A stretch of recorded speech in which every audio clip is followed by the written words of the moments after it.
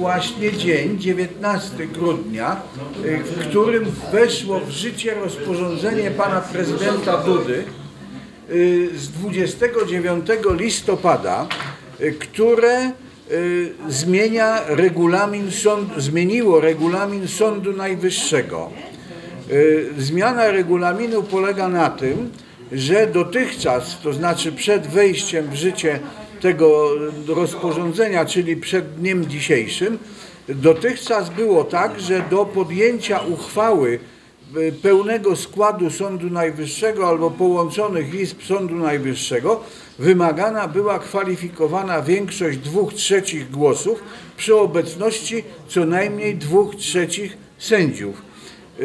E, rozporządzenie pana prezydenta zmienił, zmieniło to, ten regulamin w ten sposób, że do podjęcia uchwały pełnego składu czy połączonych izb wystarczająca jest zwykła większość przy obecności najwyżej 50% sędziów.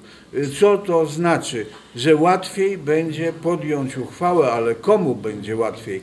Otóż jak y, w chwili niepojętym przypływie szczerości oświadczył pan sędzia Laskowski, który uważa się za sędziego legalnego, żeby podjąć uchwałę na przykład w przedmiocie ważności bądź nieważności wyborów, to wystarczy y, grono tak zwanych neosędziów, y, których rząd Donalda Tuska zapowiada, że będzie dusił gołymi rękami. E, no i e, jeżeli ci neosędziowie dopuszczą do siebie instynkt samozachowawczy, to mogą orzec, a mają czas do 13 stycznia, mogą orzec, że wybory były nieważne. I co my wtedy zrobimy? Proszę Państwa, co my wtedy zrobimy? Co mówi na ten temat konstytucja, bo przecież praworządność, tutaj walczymy o praworządność, niektórzy nawet kicali za praworządnością. Co mówi konstytucja? Nic nie mówi. To znaczy może, musimy wnioskować z analogii. Otóż y, jest taki przepis dotyczący wyborów prezydenta. Jeżeli wybory prezydenta były nieważne, to zarządza się nowe wybory. Y, no i jest też inny przepis konstytucji, który mówi, że prezydent może skrócić kadencję Sejmu, oczywiście z ważnych powodów, nie z jakichś błahych. No ale jak Sąd Najwyższy by uznał, że wybory były nieważne, to to jest powód poważny do skrócenia kadencji Sejmu. I co się wtedy dzieje? Wtedy w ciągu 45 dni od wydania takiego postanowienia prezydenta muszą odbyć się wybory. Muszą się odbyć wybory, a y, nowy Sejm, nowo wybrany, musi zebrać się najpóźniej 15 dnia od daty wyborów. Proszę Państwa, więc tyle konstytucja, ale konstytucja swoją drogą, a przywracanie praworządności swoją. Pan profesor Wojciech Sadurski, mój faworyt, właśnie wy, wy, wydał bardzo postępową wykładnię jurysprudencji. Powiedział tak, no tak, żeby przywrócić praworządność, to musimy łamać konstytucję. Nie ma innego wyjścia. Musimy łamać konstytucję, inaczej nie przywrócimy praworządności.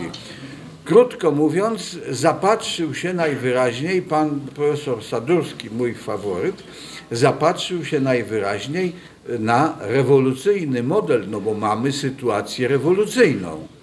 A co się dzieje w sytuacji rewolucyjnej?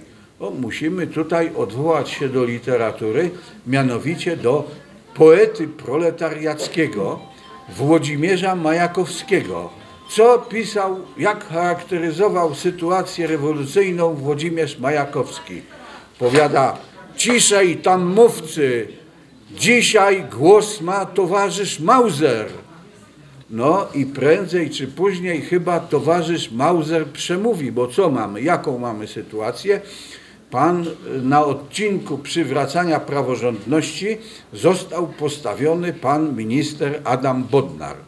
No i pan minister Adam Bodnar w trosce o przywrócenie praworządności skierował do uzgodnień międzyresortowych takie rozporządzenie, y, że y, tych neosędziów, tak zwanych nielegalnych, nie można wyrzucić, bo konstytucja tutaj surowo tego zabrania. Na razie nie można ich wyrzucić, żeby nie płoszyć tu nikogo. W związku z tym y, pan minister Bodnar wykombinował sobie takie wyjście awaryjne, taki wytrych awaryjny, żeby dopuścić taką możliwość, że strona niezadowolona na przykład z tego, że w składzie sądzącym jest neosędzia, może zażądać jego wyłączenia, że sąd pod zarzutem, że sąd jest niewłaściwie obsadzony. I co się wtedy dzieje?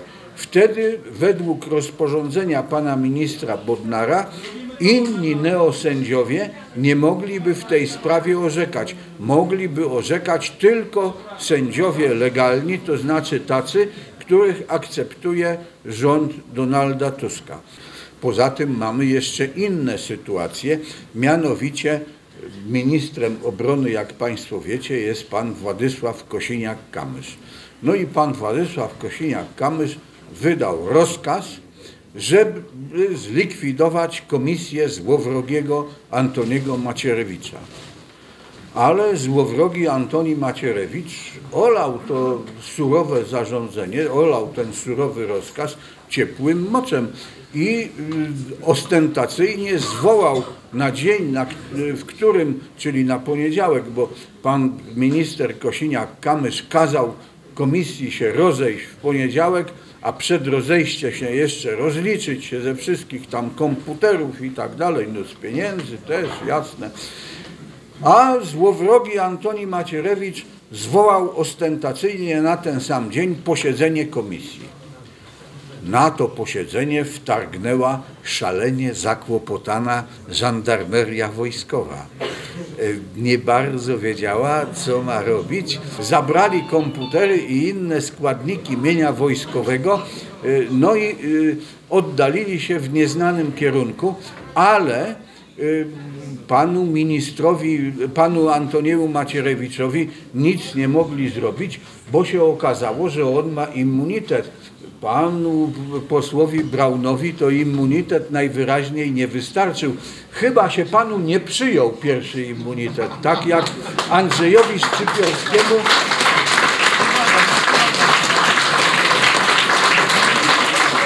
Jak Andrzejowi Szczypiorskiemu nie przyjął się pierwszy chrzest i trzeba było go powtarzać, a panu marszałkowi Hołowni nie przyjęły się dwa nowicjaty ojców przebielebnych, ojców dominikanów. Także takie rzeczy się zdarzają. Dzisiaj Donald Tusk ogłosił, że odwołuje Jacka Kurskiego z Banku Światowego w Waszyngtonie. No i zabrzmiało to bardzo poważnie, ale co się stało? Prezes Narodowego Banku Polskiego powiedział, że odwołanie Jacka Kurskiego jest nieważne, ponieważ zgodnie z tam paragrafem przywołanym przez pana prezesa NBP do reprezentowania Polski wobec banków zagranicznych jest właściwy prezes Narodowego Banku Polskiego. Donald Tusk na to powiedział, że no owszem tak, ale Bank Światowy nie jest bankiem, tylko instytucją finansową. No i teraz nie wiemy, czy Donald Tusk odwołał Jacka Kurskiego, czy go nie odwołał. On sam tego nie wie, dlatego że musi czekać, aż w tej sprawie wypowie się Bank Światowy w Waszyngtonie czy uzna, że jest bankiem, czy uzna, że nie jest bankiem, bo od tego wszystko zależy. No widać, że gra, granice władzy Donalda Tuska nie są takie rozległe i na razie, e, na razie jest taka sytuacja, mamy do czynienia z pełzającym zamachem stanu, ale wszystko jest w fazie pełzania, dopóki nie przemówi towarzysz Mauser. A jak przemówi towarzysz Mauser? No tak przemówi, że w zależności od tego, kto kogo pierwszy aresztuje, kto kogo pierwszy aresztuje. Mówię to Państwu dlatego, y, że Sąd Najwyższy od dzisiaj ma czas do 13 stycznia, żeby podjąć decyzję w sprawie ważności wyborów. Jeżeli sędziom starczy odwagi i instynktu samozachowawczego, to powiedzą, jak wy tak, to my tak. I uznają, że wybory były nieważne. Nawet nie muszą specjalnie chyba kłamać, bo było ponad 2000 protestów wyborczych, więc bardzo możliwe, że mogą kilka wybrać, no i wtedy będzie dopiero co wtedy będzie? No tego nie wiemy. I dlatego, proszę Państwa, te święta będą takie wesołe. Dlatego te święta będą takie wesołe, że będziemy nie tylko wyczekiwać na Boże Narodzenie i chóry anielskie, ale na to, czy przemówi towarzysz Mauser, czy nie. Panie pośle, pan powie coś? Żeby... Myślę, że warto, ludzie czekają na, na głos. Pana, że nie trzeba nawet mikrofonu. Zostałem wywołany, zostałem wywołany do głosu, więc pewnie, żeby powiedzieć coś ludzkim głosem przed Wigilią, e, wykorzystam okazję i złożę Państwu życzenia, zgodnie z sugestią przewielebnego pana redaktora Michalkiewicza, wesołych świąt niechanukowych życzę wszystkim Państwu.